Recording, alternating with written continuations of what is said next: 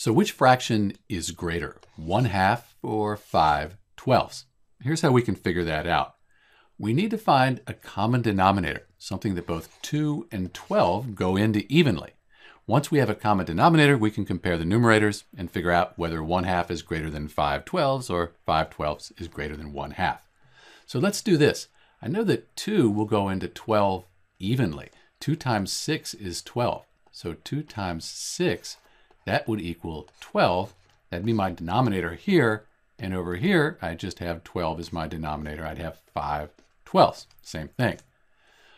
With this up here, I can't just multiply the denominator by 6. I have to multiply the numerator by 6 as well.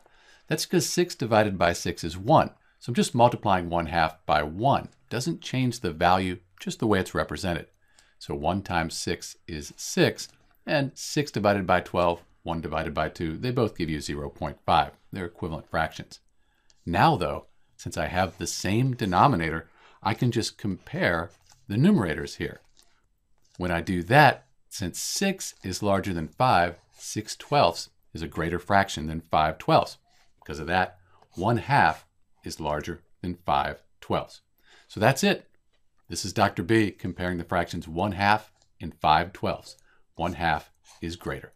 Thanks for watching.